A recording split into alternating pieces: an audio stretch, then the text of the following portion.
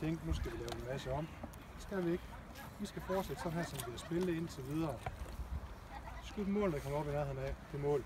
Ikke også? Dem, der står i angrebet, det er øh, forbudt, og der er dødsstraf for, at I trækker ud på kanterne. Sørg nu for at skabe plads til de to kanter, vi har, sådan de kan løbe med dem, for de kan løbe fra dem. OK? Ja. Lad være med at tage de satsninger ned i forsvaret. Hellere losse en gang for meget, end en gang for lidt. Hvis, nu får I modvind, hvis I stadigvæk, og I må gerne, hvis I stadigvæk vil helt op og presse, men det kan I faktisk sagtens, men så er det bare ikke kun én, der må presse. Så skal I alle sammen være villige til at løbe den ekstra meter og presse, for ellers kommer I til at se dumme ud, så spiller de udenom jer i løbet af to sekunder. Hvis der er en mand, der så, hvis det, Mads han siger, nu går jeg op og presser, så kommer resten. Ikke også? Så bare fortsæt derinde. Ikke også?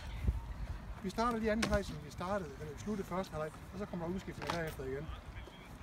Fortsæt nu derinde, ikke også? Det ser fint ud. Det ser rigtig fint ud.